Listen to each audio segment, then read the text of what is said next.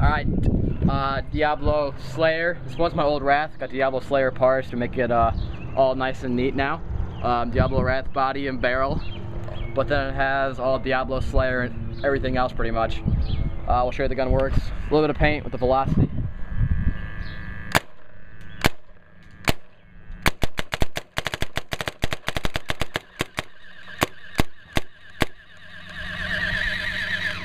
Shoots fine.